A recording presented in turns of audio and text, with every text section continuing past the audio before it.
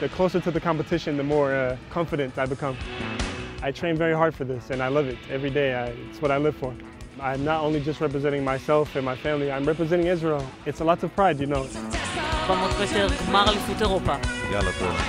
I started running when I was 10 years old. My mom was my coach. Every day she took me out to the stadium to make me run. Uh, it was something I wanted to do very hard. I wanted to be professional.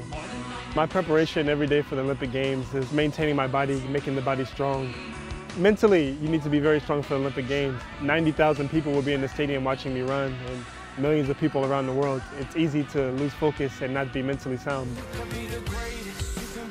Sometimes I get very nervous before the race, but once the gun goes off, boom, אני מוכן, I'm ready to go and I'm excited.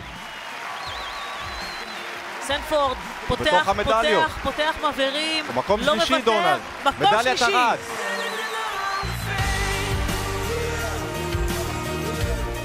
The best moment I've ever had in my career representing Israel is winning the medallia in the bronze medal in the European Championship. It was the first medal for Israel for a sprinter and the second ever in history, so it was amazing just to see all the positive information from all the Israelis saying, Donald, we love you, congratulations, kol hakavod, uh, mazal tov. It was, the feeling in my heart was, oof, it just felt amazing. It was very nice.